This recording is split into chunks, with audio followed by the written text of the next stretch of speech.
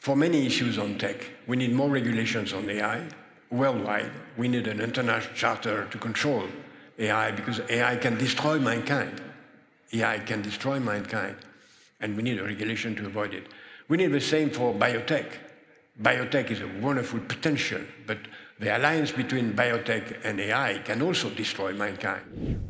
If you look at Europe, it's a mess. Like, like the last thing which came out of Europe was when you have the, the lids of a, a water bottle that you cannot uh, fully take it off. That's the grandiosity of European regulation, while Elon Musk yeah, is bringing uh, rockets uh, to space and safely back. So I think we want more of unleashed entrepreneurship, but yes, we don't want it 100%.